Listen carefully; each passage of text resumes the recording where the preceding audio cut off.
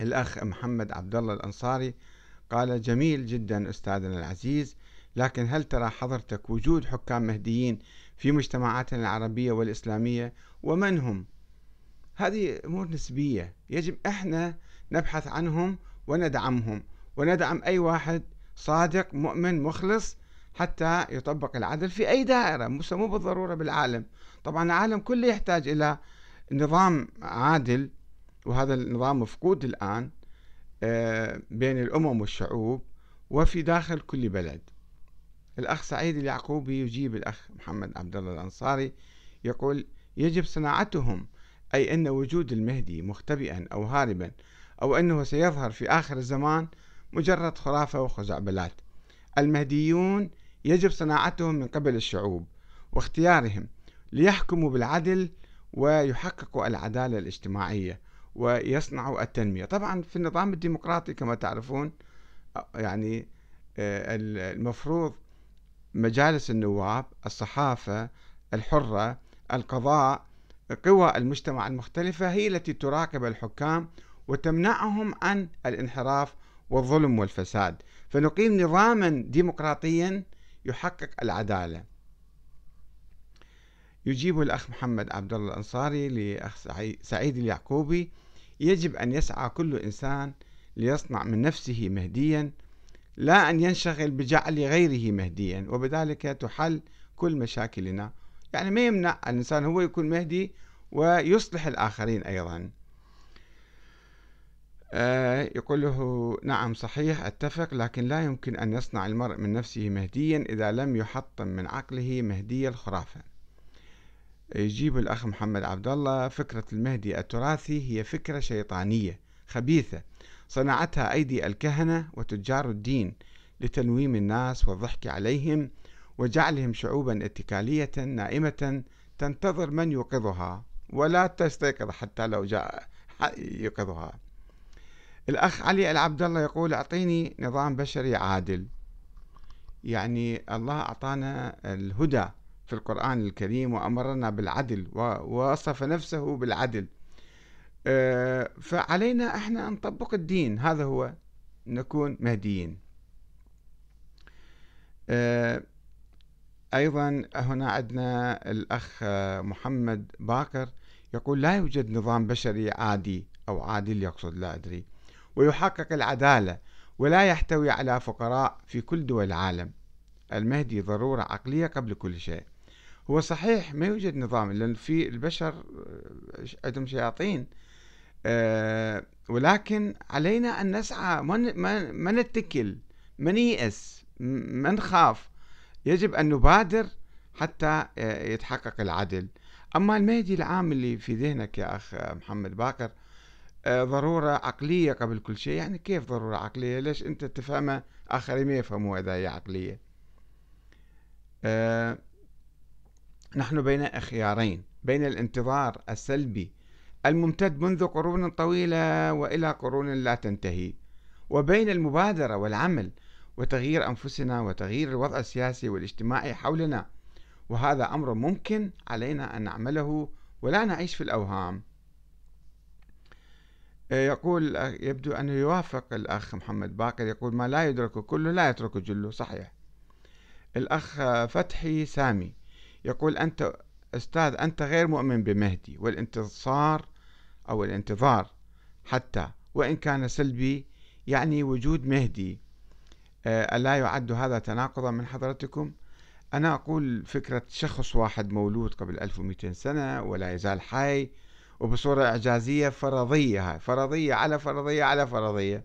يعني ناس افترضوا وجود ولد الإمام العسكري ثم افترضوا أنه إمام ثم افترضوا أنه المهدي ثم افترضوا أنه حي لم يمت ولا يموت. منين جبتوا الكلام هذا؟ لا يوجد آية قرآنية حوله ولا حديث نبوي ولا فشي معقول عصر المعاجز انتهى بالأنبياء السابقين. حتى النبي محمد ما جاب معاجز إلا القرآن لإثبات نبوته.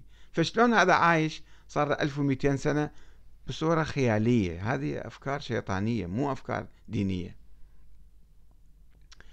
الأخ عبد الحميد بن إدريس يقول على كل مسلم أن يكون في نفسه مهديا مطبقا لشرع الله ساعيا في نشر الخير بين الناس. أحسنت يا أخ عبد الحميد.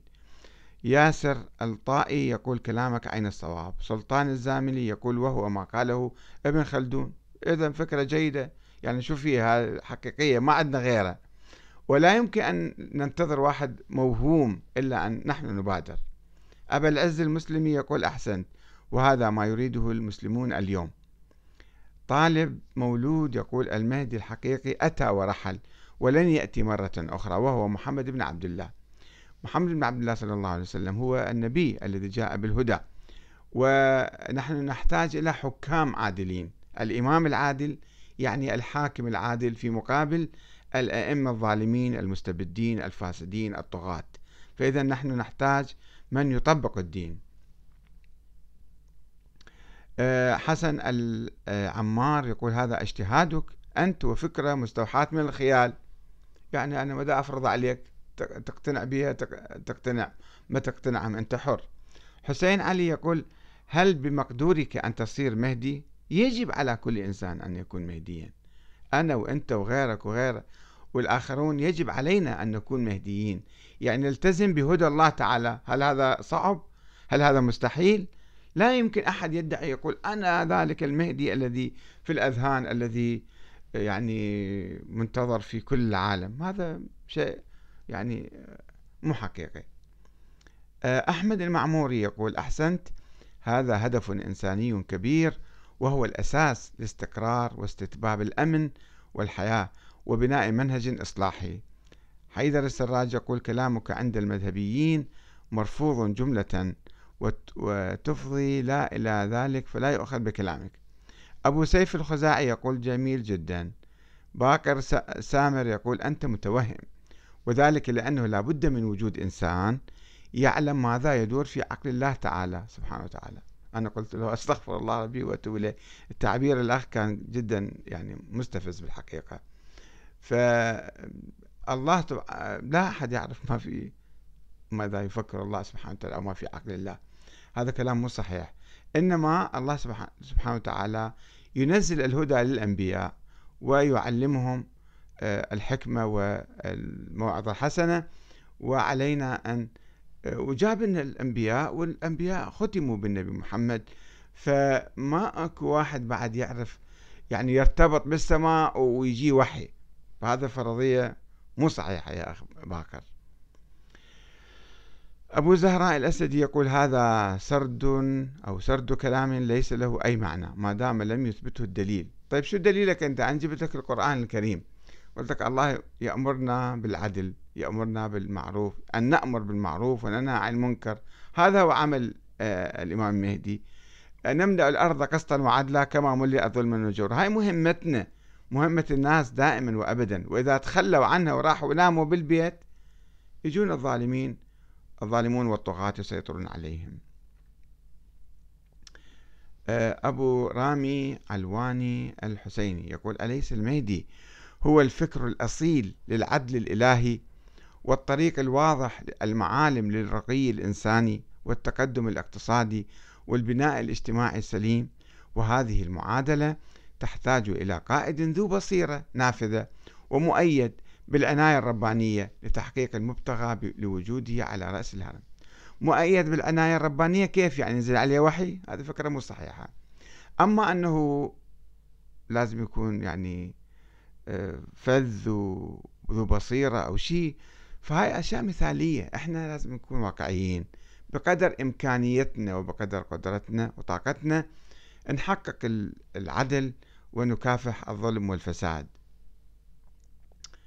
آه، من ما نجيب نظريات افتراضية وهمية؟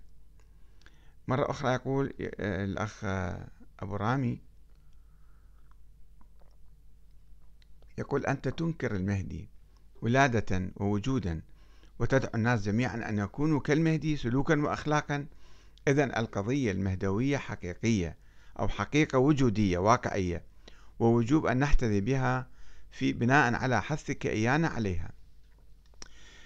أنا أقول فكرة الميديا قد تكون فكرة إيجابية مو سلبية. الفكرة الإيجابية أنه إحنا نقدر نطبقها مو في شيء ننتظره بالغيب يجينا. إحنا خلينا نعمل خلايا مهدوية نتعاون مع بعض. كل جماعة مؤمنة في منطقتهم في حيهم في مسجدهم في قريتهم في مدينتهم في بلدهم يتعاونون على الخير وعلى إشاعة العدل والقسط ومكافحة الظلم والفساد والجور والاستبداد. هذه يكونون مهديين. حسن صادق يقول هذا زمن فقط الإمام المهدي عجل الله فرجه وسهل مخرجه. نتوجه له لأن الإمام قاب قوسين أو أدنى من ظهوره إن شاء الله عن قريب يظهر وأنصاره إن كونوا طيب أنت يعني شنو تعمل بعدين؟ بس بس تنتظر أو تقوم تعمل وتكافح الظلم. يعني فكرة الإمام المهدي العادل الذي يقيم العدل هاي فكرة تبعثنا إحنا على إقامة العدل. يعني أقول صوروا الإخوان اللي يسمعوني الآن أو اللي شاركوا بالكتابة والنقاش والحوار. تصوروا لو أن الأخوة المتحاورين صمموا الآن على تغيير والتعاون فيما بينهم وشكل كل واحد منهم خلية مهدوية في محيطه وبدأ العمل والتغيير والإصلاح كل حسب قدرته. ماذا سيحدث في العام القادم وبعد عشرة أعوام ومئة عام؟ العدد ينتشر. أما إذا جلسنا سلبيين متكتفين فلن يحدث أي شيء. المهدي ضرورة حضارية. في مقابل الدجالين والشياطين الذين يظلمون الناس ويفسدون ويسرقون أموالهم وثرواتهم. إذا الحوار طويل وفي صفحات أخرى أيضا جرى حوار نأمل إن شاء الله أن نكون مهديين وأن ندعم الأئمة المهديين ونكافح الأئمة الظالمين المفسدين الطغاة المجرمين العملاء والخونة. والسلام عليكم ورحمة الله وبركاته.